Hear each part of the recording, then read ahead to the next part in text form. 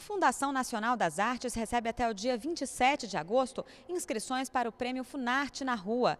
Pessoas jurídicas e físicas podem inscrever espetáculos de dança, teatro e circo.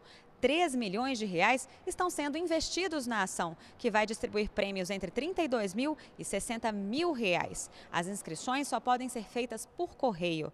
Mais informações você encontra no site da Funarte, que é o www.funarte.gov.br. De Brasília, Isabela Azevedo.